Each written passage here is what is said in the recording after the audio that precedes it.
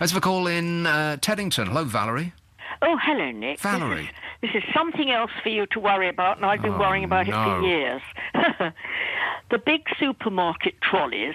Oh. Yes, Yes. I'm not talking about babies that sit in the seat, although you could Oh. think about that.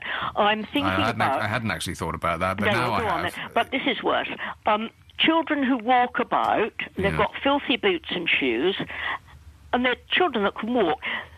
The parent puts them and stands them with those filthy shoes in the trolley. Idiots. And then we put our things in there. Yes, they're wrapped, but who on earth puts on rubber gloves and undoes them outside in the garden?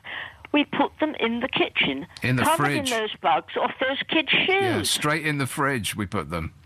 No, but we have to undo them, so we put them on the worktops or around, don't we? Yeah. And they're covered in those filthy bugs off those children's shoes. Well, here's another thing, Valerie. You know the bags that you uh, put your shopping in, Yeah, and then, yeah, go on. and then you uh, put them in your car boot, which you never clean, by the way, Valerie. It's disgusting. And then you take them out the, the boot and you put them on the ground as you close the boot and you shut the garage. Um, from the ground, you then put them straight onto your countertop. Correct? No, they're not dirty in the boot because I've got a special big plastic thing in the boot which is just for food. So they're not from the dirty car boot. You've got a special plastic thing. Yes, I have with handles, which is just for, to put all the food supermarket stuff into. But even then, the supermarket stuff I put in it is covered in filth from the children's shoes.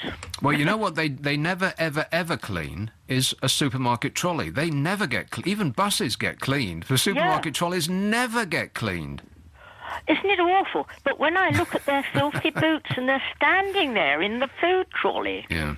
Isn't it vile? Had you thought about that? Well, no, but now I have, Valerie. Now you have, Yeah. and you're very much aware. and I spoke to the manager in my particular supermarket. Did you? Yes, and I said, had he thought about it? And he said he hadn't, but he didn't like to say anything to the mothers because the kiddies liked it. Meanwhile, we're slowly uh, uh, dying to death, and the, and it's all because the kiddies like it. And the children have probably walked through, this will cheer you. Oh no! yes. yeah, that, but bird droppings, Mm-hmm. urine, spit, and all sorts of other nasties. That you that you decline to list. Spit, Yeah, well, you I- say? That's upset you even more. Yeah. Think about this next No. time you put your truth No, I'm never eating again. Thanks a lot, Valerie. Good idea. Ta-ra. Bye. The thing with supermarket trolleys is they they're probably dirtier than um, the toilet that's inside the supermarket. The handle of the of the trolley itself has had hundreds of thousands, possibly, of the people with their sweaty, dirty hands all over it. Never, ever, ever cleaned. Ever. As clean as it ever would get is if it's stored outside and it rains on it. And you know what's in rain, don't you? Oh three four five six, and and the, and uh, the more you think about it, the more you think about it. Uh, and once you've thought about it, you can't unthink it. Do you know what I mean? It's like I used to blithely go around holding bus um, uh, handles and uh, like pulling toilet doors uh, to exit without a second's thought. But now, um, like more and more, I think. Hmm.